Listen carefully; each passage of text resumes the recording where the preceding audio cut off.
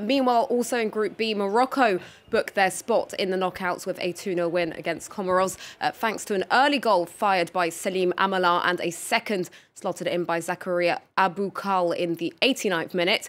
Though the Atlas Lions will be far from happy with that performance after wasting several opportunities, including a missed penalty by Youssef En-Nesyri.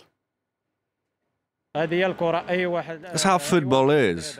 Anyone can miss a penalty. We missed a lot of chances. I hope that we won't miss these kinds of chances in front of the goal next time. I promise the fans that we will come back stronger and get the results. We won't make these kinds of mistakes again.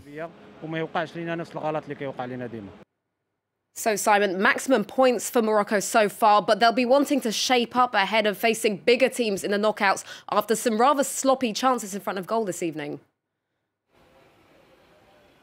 You're absolutely correct. Uh, the feeling we get with this uh, Moroccan team is that they're not playing to their full potential. It's very laboured, it's uh, quite slow. It could be a lot uh, more fluidity uh, going through their play. It could be a lot quicker, and it's just not the case. Now, it must be said in En-Nesyri's defence, in Munir's defence, these are players who had COVID at the start of the competition and who are just returning to the team because En-Nesyri, the Sevilla striker, should, of course, be starting every game for the Atlas uh, Lions later later in the competition. Uh, in terms of Morocco's uh, play overall, well, they scored early, as you mentioned, but after that, they really struggled. In the second half, however, you saw uh, the impact of Vahid Halilhodzic's speech at the interval because Morocco came out with some different intentions, uh, but they were frustrated by Comoros Islands uh, goalkeeper and man of the match, Salim Ben Boina, who was simply sensational with some fantastic saves, a double save on the line, and of course, that penalty save, Selina. So uh, it was half down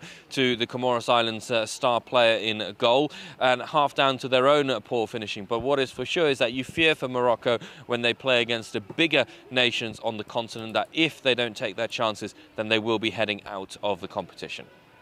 Simon Harding for us there in the capital. We'll be back to you uh, later on in the show.